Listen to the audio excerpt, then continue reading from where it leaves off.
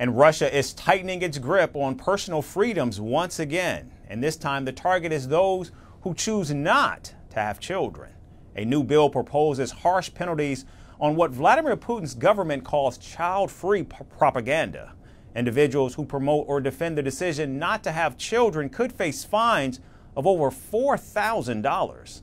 For government officials, that number jumps to nearly $9,000. And for companies, the punishment can soar to more than $50,000. However, only those with religious, health, or traumatic ex exemptions, like rape survivors, can opt out of having children. The Kremlin is pushing this legislation as part of a wider plan to reverse Russia's shrinking population.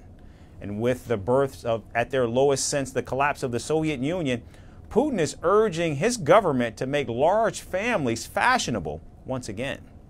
Recently, Putin advocated families to have at least seven to 10 children, and officials rolled out new policies to help meet that goal.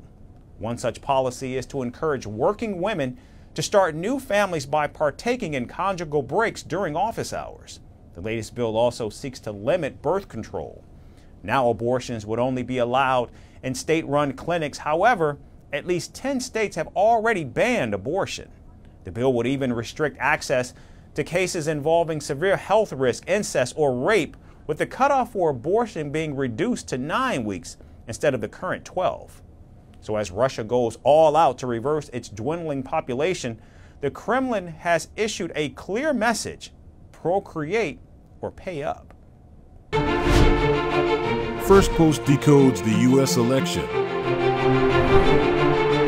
explains how America chooses its president.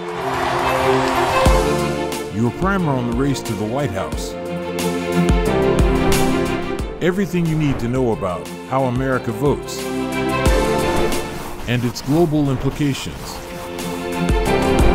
U.S. Election Explained, every Monday and Thursday only on Firstpost.